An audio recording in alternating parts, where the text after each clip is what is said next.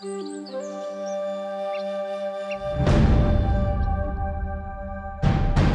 gaan een trein kapen.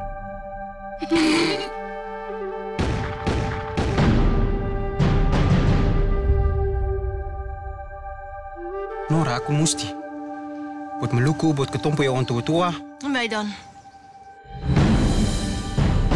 Moeten we niet toch blijven praten en proberen de tijd in ons voordeel te laten werken? Als we nu geen geweld gebruiken, hè, hebben we geen enkel machtsmiddel meer. Denk je dat iets vreselijks met mij gaat gebeuren?